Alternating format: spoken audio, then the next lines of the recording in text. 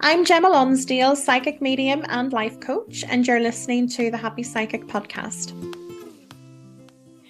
Welcome to this week's episode of the Happy Psychic Podcast. I am your host, your guiding light, Gemma Lonsdale. And today I really wanted to talk about healing journeys um, and some of the misconceptions of, you know, healing, what healing means, how we heal, and how we know when we have to heal as well. And we'll probably touch on like spiritual awakenings and things like that as we go. But I guess the, the first thing is that we're always healing.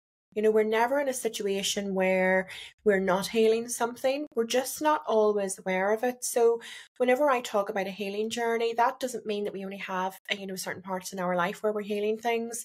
I'm really talking about the time when we're more conscious of that healing happening, um, and more more aware really that we are healing things, that we have things coming up, and this often comes in times of spiritual awakening and times whenever we're more aware of our spiritual nature. Now, whenever we think about spiritual awakenings, sometimes I think we can automatically think, oh, this is when someone becomes a psychic or when they realize that they're a healer. And that sometimes does happen, but that doesn't always have to be what a spiritual awakening is. To me, spiritually awakening is about becoming aware of the world around us, becoming aware that there is something else in this existence. It's not just this physical world, and becoming aware of how interconnected we all are and that there is a higher power. And sometimes we are more aware of that than others. You know, even on my own journey, there are times whenever I'm more spiritually spiritually awake than other times we're, we're, we're human. We're not robots. We're not perfect. We're not fully enlightened. We are, you know, we're, we're flawed. So, of course, there are times whenever we would regress back into old behavior patterns, maybe getting more embedded within the spiritual world for sorry more embedded within the material world for example. You know whenever i think back on my own journey i was very very fixed upon the corporate world and climbing the corporate ladder success salary rises recognition the material goods that that would buy me the nice car the nice house the nice holidays so I was very, very focused on that world and very driven by how other people would see me rather than actually how I seen myself and whether I was feeling fulfilled. And I think we can all have that to a certain extent at some stage or another on our life. We are born spiritual beings, but the reality is that the societal expectations in the society that we live within can sometimes really start to skew that. So it is possible to spiritually awaken and then regress. Not everybody who has a spiritual awakening experience stays on that path. Sometimes we catch a glimpse of it and then we we sort of dip back into you know the old behavior patterns and into the i don't want to say the 3d world but into into more of the material world the earthly the earthly existence you know the the physical touch the ego the all of those things but sometimes we do have periods in our life where it is a bit more gradual, but we, we don't really regress, but we, we start to waken up a bit more gradually to the world around us. And then other times, you know, people will have these spontaneous, full blown spiritual awakenings where their, their whole world turns upside down, perhaps overnight or in a, in a period of days or weeks and all of a sudden they've realized that they're you know psychics and healers and they have a career change and their whole life transforms and that absolutely does happen. I think that it's really important to be aware that actually whenever that does happen that doesn't mean that we are the finished article. That is eh, just a part of our journey. It's like a I wrote, I don't want to say a roadblock. Roadblock isn't like checkpoint. Checkpoint would be a better word. So it's like a checkpoint on our path, a checkpoint on our journey. And whenever we get to those stages where we start to become very, very aware of the path that we're on, we can start to become very aware of the fact that we um, have a lot of healing to do and we feel more driven to do that because we want to be a better person. We want to we want to feel more fulfilled and we we are compelled to turn inwards. However i would say that um it would depend how much in in our ego we actually are whenever we have that spiritual awakening because we we of course we always have our ego being human. You know the ego always exists However, sometimes we do see people around us who might have that spiritual experience, and perhaps we recognize it in our own path as well if we have been down this journey. But we might have the spiritual awakening experience that is so immense and so amazing that we think we are just one step away from God Himself, um, you know, and put ourselves above other people.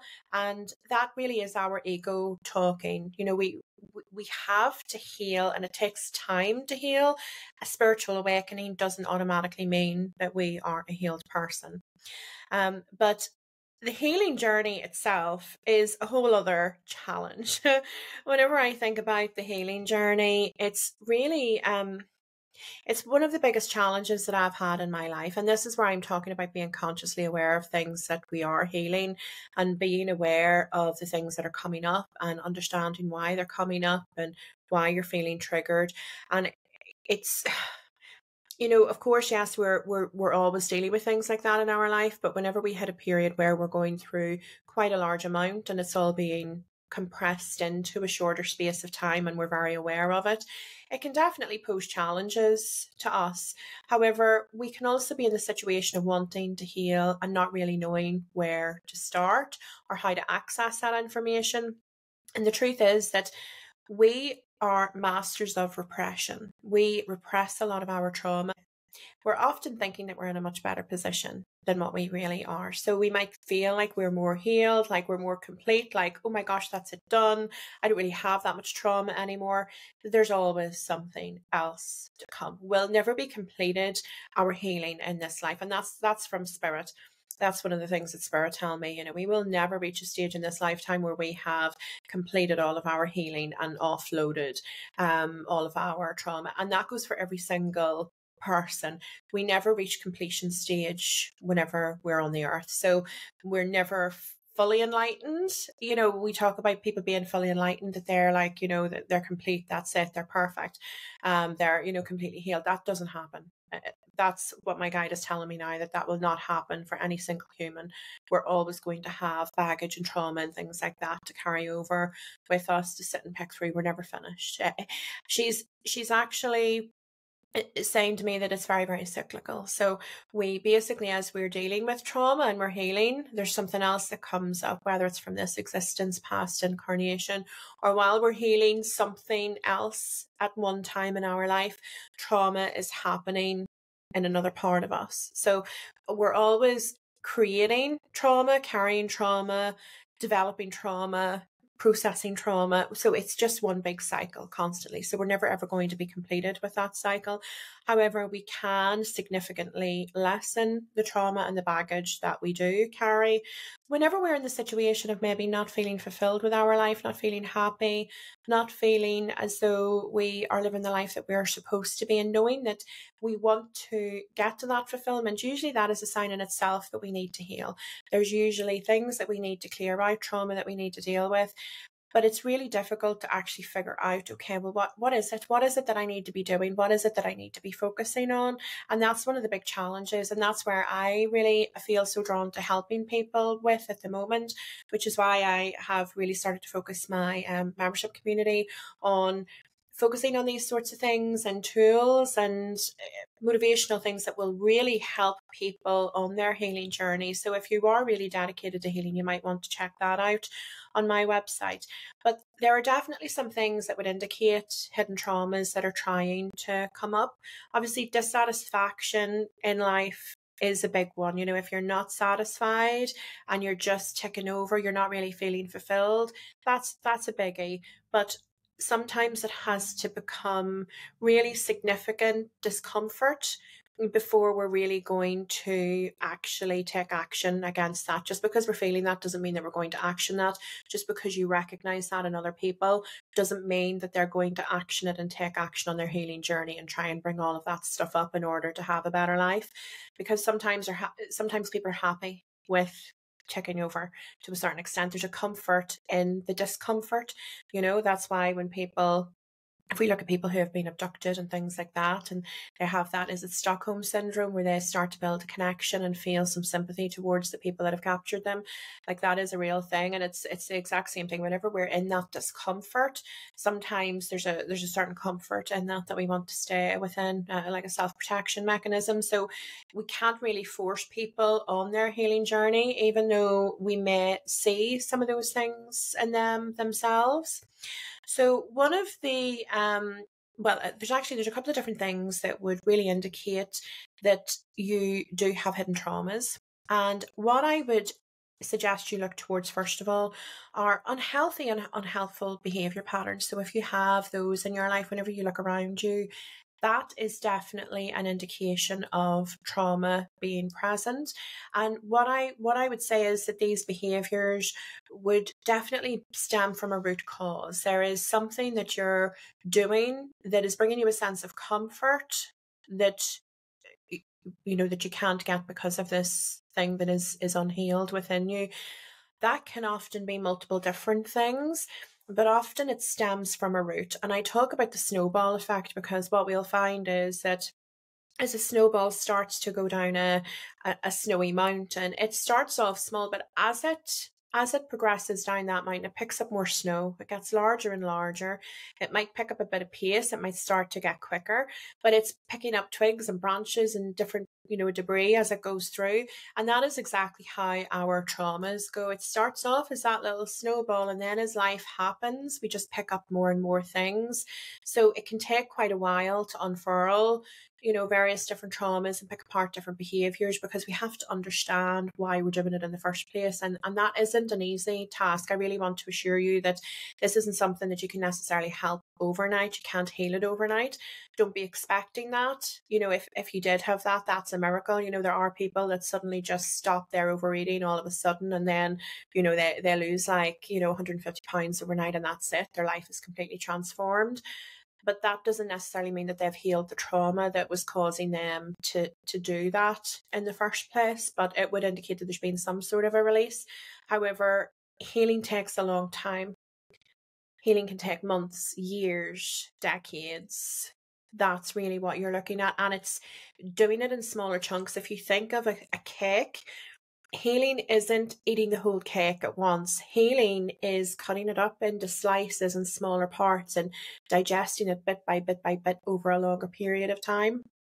So don't be thinking of healing being something that you just really need to concentrate on on a really short period of time. It's something that is ongoing and it is going to take time, but it's healing is about creating new patterns, creating new behaviors, re- rewiring your thoughts, you know, creating new thinking patterns for yourself. And it's those sorts of things that are really going to transform your life and transform your healing. Um, so, whenever we take a look at our lives, some of the different unhealthy behavior patterns that would be indicative of there being some healing there with you. I just want to try and give you a little bit of a helping hand here to understand within your own life where you know where you could start with but things like unhealthy attachments to people you know if you've had any romantic relationships or attachments where you've just got obsessive about the person or you know you've really just really clung to that relationship and that connection like your life depended on it and you're you would only be happy if that person was to be in the connection with you to reciprocate your interest. That's really one of the things that would indicate that there's some sort of trauma and hidden hidden trauma repressed trauma you know could be dealing back to your childhood with you know whoever your your caregivers were. Um, excessive laziness, you know, that's definitely something to do with um, hidden trauma as well overspending um be you know my guide says spendthrift spendthrift but you know whenever we're in that period of um overspending and overindulging in material possessions um drug use alcohol use um overtly sexual behavior and like promiscuity that's not saying that you can't go out and have a one night stand or have casual sexual encounters but you know if your if your life is based on that or if that's a, a bit of a pattern that you have and you're maybe not you know get, getting fulfillment from that then that would definitely indicate that there is some sort of trauma there. Um, and just general patterns that we have in our life. So for example one of mine was whenever I had relationships with people in the past, you know, I would have had a serious partner for, you know, a period of years. And I always just got to the stage where mm, this isn't what I want. This isn't who I thought they were.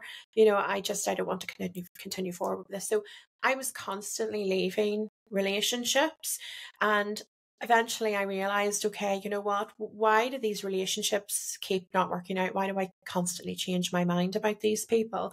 Because I was becoming aware of the pattern and the discomfort for me was really starting to become more prominent than the sense of comfort that I had by having a partner. And whenever I was able to pick that apart, I was able to understand a little bit more about myself and my own personal desires and realistically what I required from a person and the sort of person that I should be wanting to build a connection with from the starting point.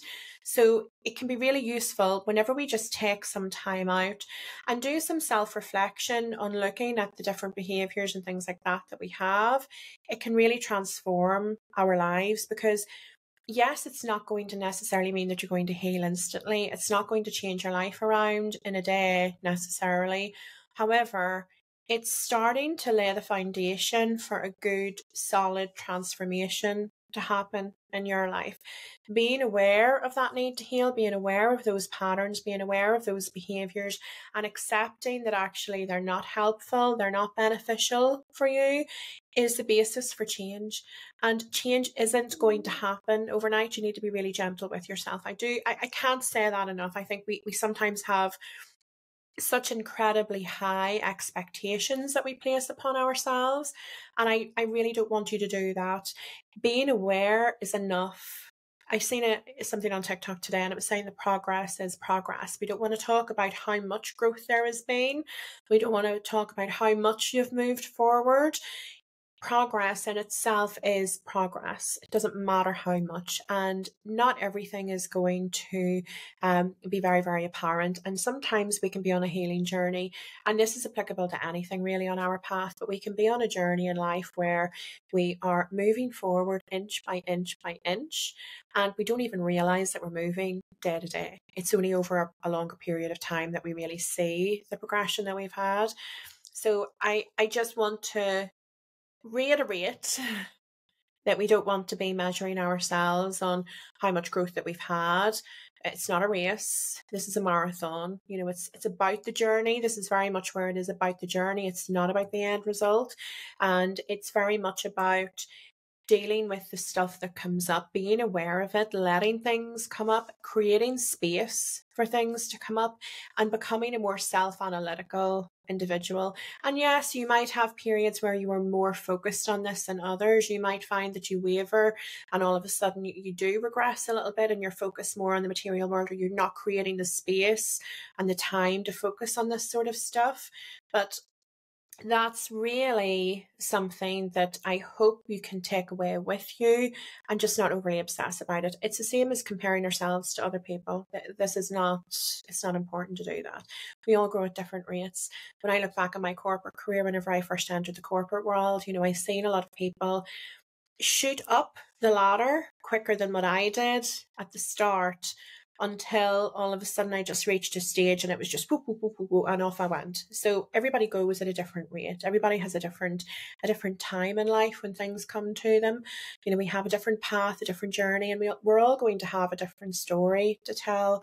So treat yours as a really unique novel that you're writing and let things happen in their own time and don't push yourself too hard. Things will always come at the right time.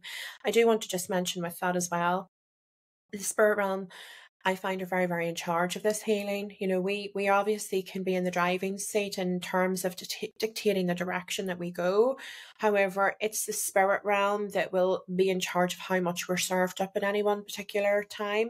Think of it as your higher self. They know what you can handle. They know they know what you can deal with, um, and just let let that happen and trust that you're on the right path and you just need to keep doing the work and keep creating that space for yourself and that time and it'll happen it'll come Okay, so I really hope that you've enjoyed that. And I love talking about this stuff. This is the stuff that I'm really, really passionate about, is really helping people on their healing journey and helping them understand themselves in a lot more detail. You know, I get so much wisdom and knowledge from spirit when it comes to this stuff that I really want to help other people become the best version of themselves.